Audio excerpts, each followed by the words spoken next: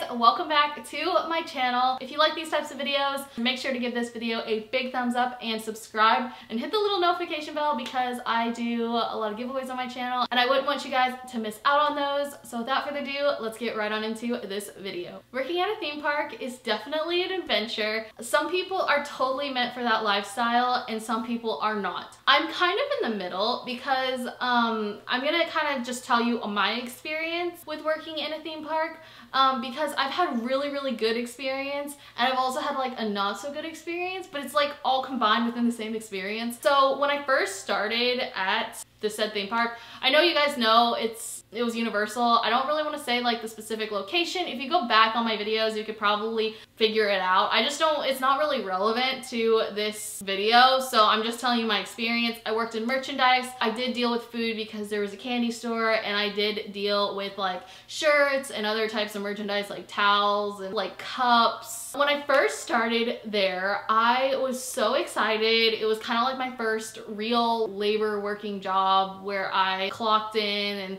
all of that. It was uh, cool to see the backstage of the park and see what people don't see. I'll get into all of that stuff a little later. There's not like too much stuff. It's not like glamorous or anything. So basically I started working there and I absolutely loved it. Like all the people were awesome. Everyone was so nice. My manager at the time when I first started, like he went above and beyond for the employees and stuff. And I still remember this one story about this one team member like being all sick and he legit drove that person to their house so they wouldn't have to drive and stuff. I just thought that was like so cool. He was so good that he like moved up in the company like really, really fast. And like, no wonder he's like an excellent worker. He's a cool guy and stuff. He would come into the stores and like work with us and like we'd have like jokes. And I remember like we served these cupcakes and we had these cupcake containers and he would put the cupcake in and he couldn't like get it closed but I could so like I like closed it for him. It was just a really fun time. It was always like a party when I went there. And also the team captains were awesome like all of them. There wasn't like anyone that I didn't like. Maybe there was like a few times that I like got annoyed with one of them but like they were all like super chill. It again like it was a party. Nothing really to complain about. Um this one one time I worked like a lot of days, at least for myself and stuff. And then I got these like migraines and stuff. So I figured out I had to wear my glasses. So that was really cool. And then we got a new management team because like they rotate managers kind of a lot. Again, this is another thing I don't really understand with theme parks. Not one theme park is different. They're all kind of like operated the same way. This is like a little side note, but it is really, really hard to grow in those companies. You have to know somebody to get in or you have to just get really lucky because those companies know exactly who they want to fill roles and stuff. And it's really difficult sort of to move up in any way shape or form so I highly suggest if you want to get a position there that's not like entry level then you get an education and you start out in the company to show your loyalty and stuff that's just the cold hard truth all theme parks are kind of run the same way, meaning you don't like grow up in the company, you kind of just go lateral. Um, so if you're like a team captain like a manager, I think it's like really hard to get up into like corporate and stuff. So you're just like moved around to different areas. So like if you're in Toon Lagoon and you're like a manager, you could like move positions, but like you're not gonna be in Toon Lagoon anymore doing the same position.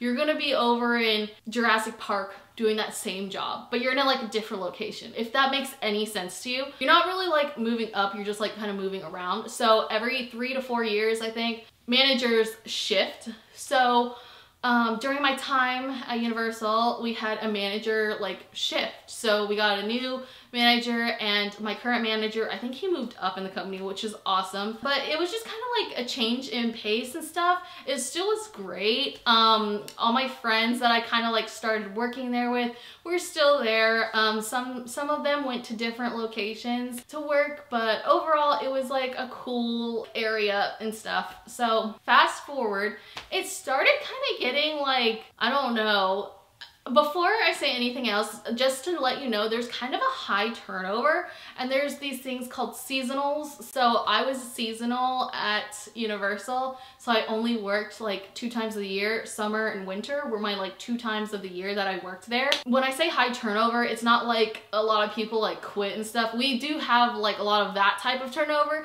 but there's also like a lot of like rotation within like workers and stuff. But every season, ever since probably, I started there 2016, 2017 was fine. It was kind of like the 2018 slash 2019. It was just kind of like, it started kind of going downhill for me. Like I wasn't very excited to go anymore. It just kind of felt like blah and I don't know if it was like the people but I just felt like the spirits were like kind of down and a lot of people that I worked with um, when I started had quit. Like a lot of the team captains that I started working with also went other places. So it was kind of um, unfortunate. I still had like a couple team captains that I was like, oh, I'm so glad they're still here and stuff. And we got new team captains that like some were really good, but then like others just like, hmm, nah, I just wasn't feeling it with them. I don't know. Some of the team captains that were like, that had moved, it was super sad because they were like some of my favorite people. Like there was this one lady named Marion and I don't know if she'll ever like see this or anything like that, but um, the store that I worked in, she kind of like took ownership in and she was like such a hard worker and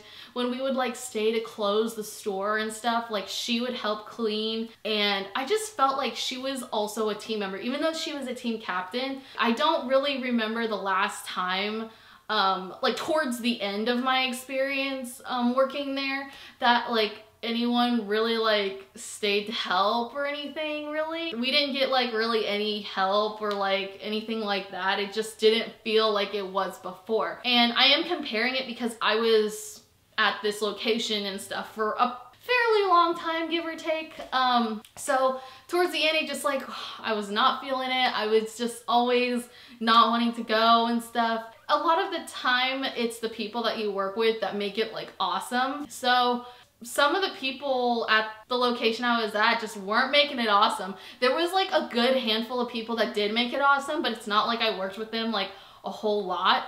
And um, there was like a couple team captains that I absolutely loved, but I feel bad for them because like they had to work with like other team captains that I didn't really like. So it was just kind of odd at the end and I really didn't like it. Now I'm gonna kind of get into the job part of the working at a theme park.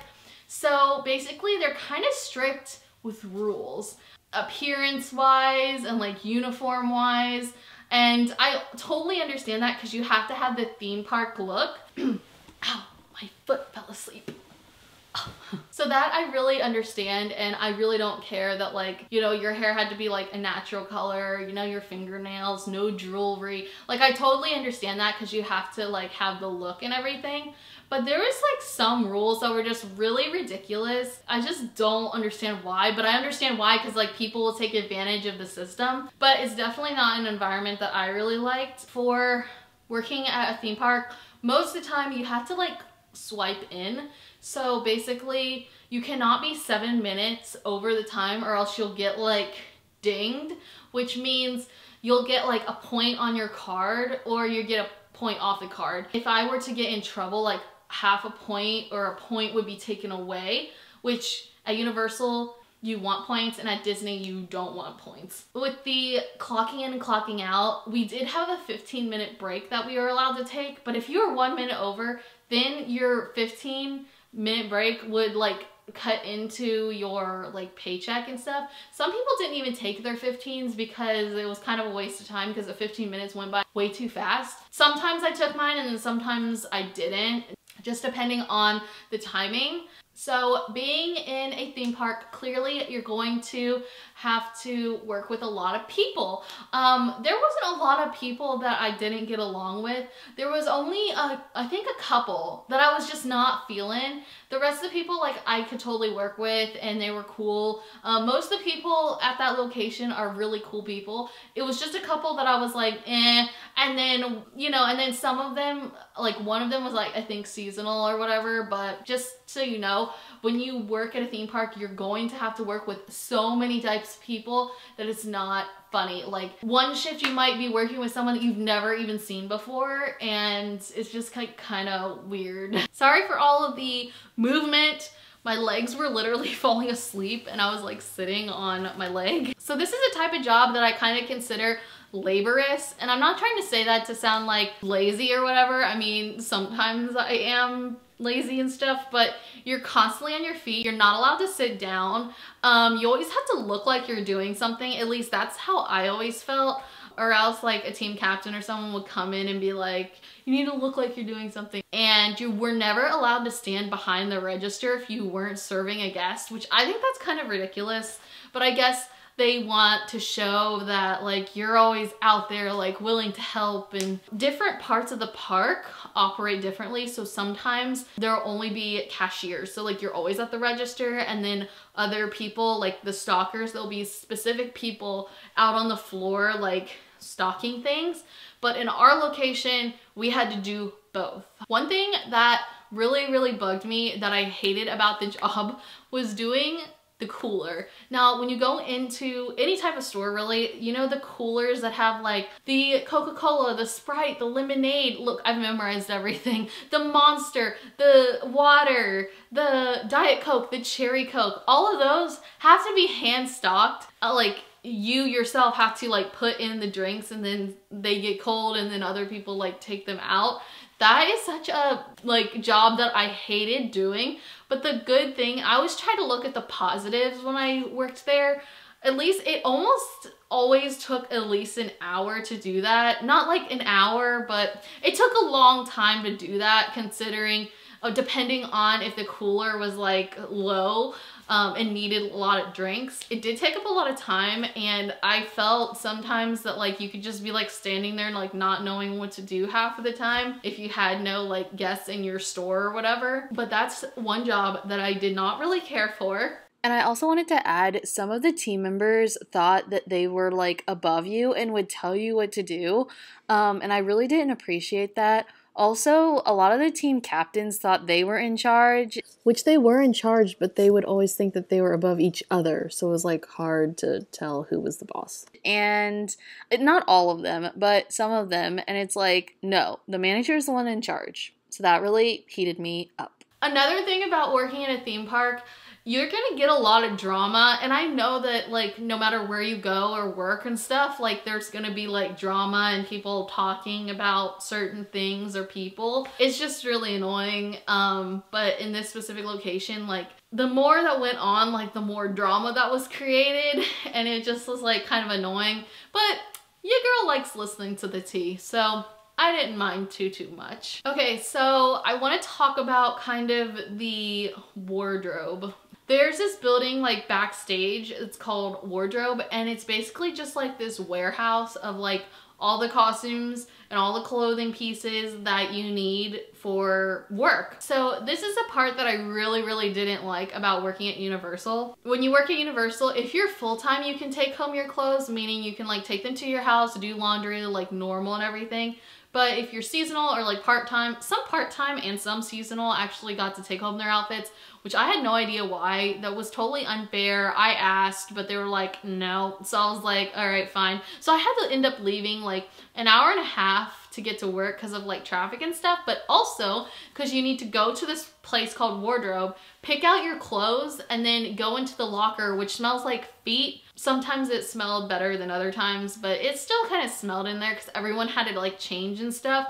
Um, because I worked at um, the park that's like further away, I had to like walk all this way, which is great because I was getting some exercise. There was a bus I would take you, but like sometimes it would be late. I always left pretty early so I could catch the bus and it was great. I really didn't have any issues with the bus, but towards the end of it, I just started walking because I wanted the, um, the exercise. I didn't like having to like go change into stuff and then like go to work and then have to change back because that just like takes so much time and like another thing that I didn't really like about working at a theme park and this kind of goes in general for working with people um, like service type jobs. Um, it's not all bad, don't get me wrong, but there are some people that it's just like, why? It makes me like not like society sometimes um, because the way people talk to their kids and like the way people just like go about asking for things is just not the nicest sometimes. And I'm like, dude, I'm a person. I'm here working this job, getting $12 an hour. Like, please respect me. Please, like, be a little bit nicer. And you don't understand that so many people don't put back items where they're supposed to go. And it's like, are you, I mean, I get we're all lazy and these people paid a lot of money to get in the park.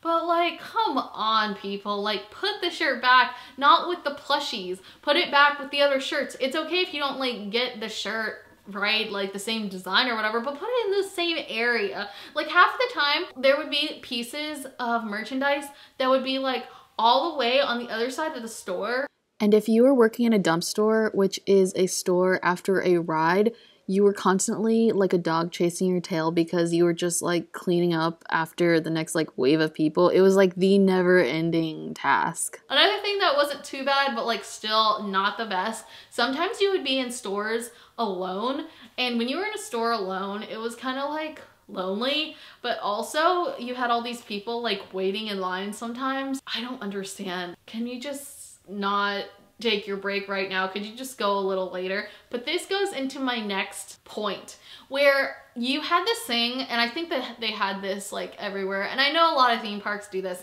It's called a break board. It's not literally a board, it's kind of like a piece of paper that's on like the cash register area, and it tells you when your lunch is and your breaks.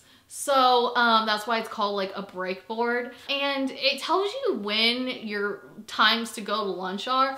And I understand that, but sometimes, and this frustrated me so much, the break board did not make sense whatsoever. Like sometimes there would be people that were like in a store alone and like it's the busiest time of the, the night or something.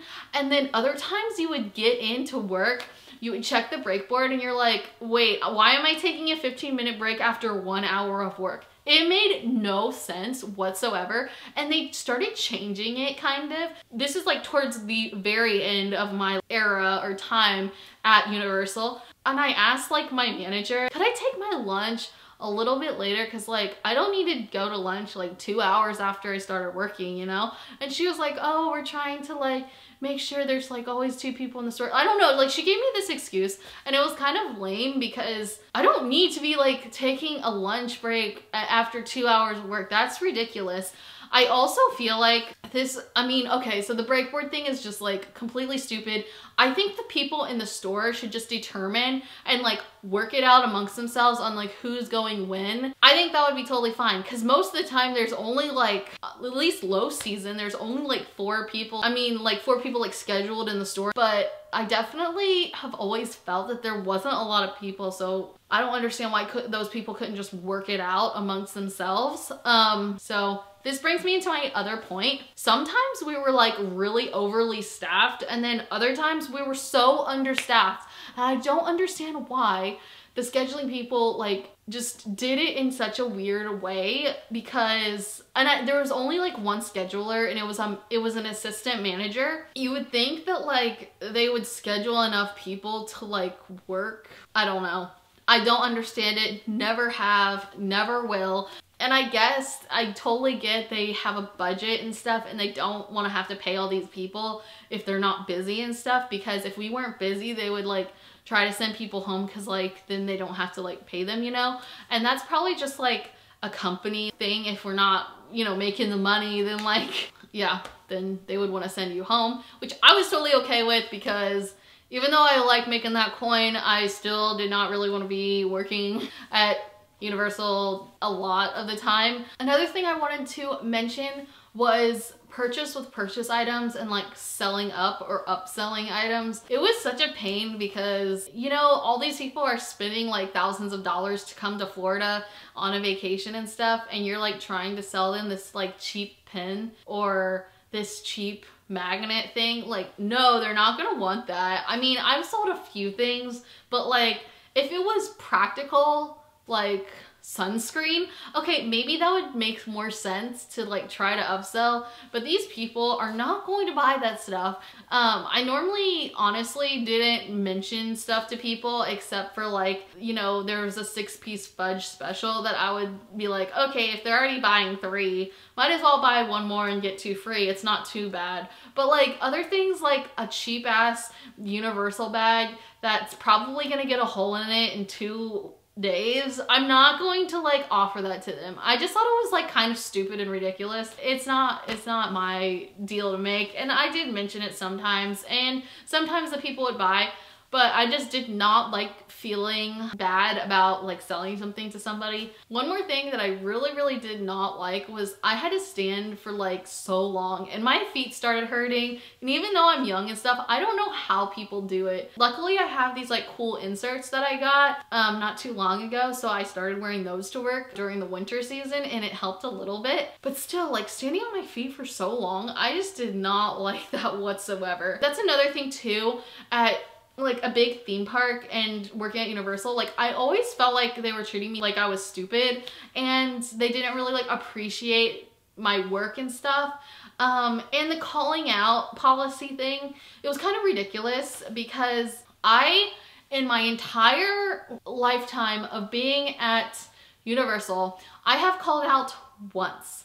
Um, and I can say that because like that is honest to God truth called out once. And I asked that for that day off to the person and she was all like, no. But I was never gonna see my cousin graduate again. She was only gonna graduate high school once. So I wanted to be there. So I called out because of that.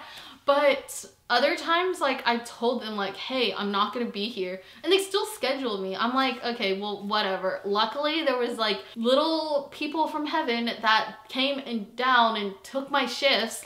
So thank you and shout out to you guys because I needed those days off because I was out of town for Christmas um, with Spencer's family. So I really needed that time off. When I first started, the scheduling person, she was like, awesome and like oh she was like such a sweetheart and then again like when management changed she left she was the type of person, if you asked her for days off two weeks in advance, she would most likely, if she could, give you those times off. There was not really a lot of like graciousness. I just felt like I was like underappreciated. And there was one manager that did say like thank you every night and that was like really awesome and I did feel kind of appreciated. We had this thing that we would take. It was like a test called TSAT. It stood for team member satisfaction. It was basically like a survey on like how team members felt and everything. And I thought that my fellow team members were all on the same page of like how we felt and everything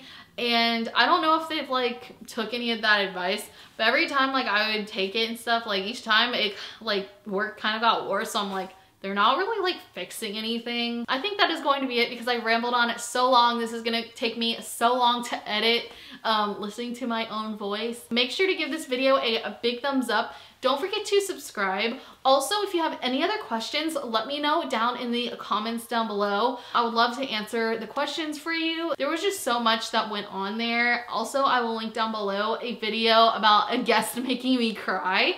Um, that was fun. Now I laugh about it now. But anyway, that is going to be it. And I'll see you guys in my next video. Bye!